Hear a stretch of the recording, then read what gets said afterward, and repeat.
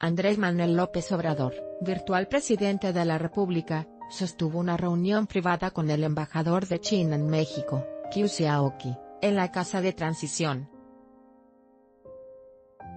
El encuentro solo duró 30 minutos, a diferencia de las otras dos reuniones diplomáticas con Estados Unidos y Canadá, con quienes se reunió cerca de dos horas. Además, esta vez solo lo recibió Marcelo Ebrard, futuro secretario de Relaciones Exteriores. No te pierdas. Esta es la agenda de Andrés Manuel López Obrador para este jueves 2 de agosto. Fue notoria la ausencia del resto de su equipo de transición. No asistió el secretario de Hacienda, Carlos Ursúa, Olga Sánchez Cordero, próxima secretaria de Gobernación, y la secretaria de Economía, Graciela Márquez Colín. Anteriormente, López Obrador ha comentado que abrirán canales de comercio con Centroamérica y Asia.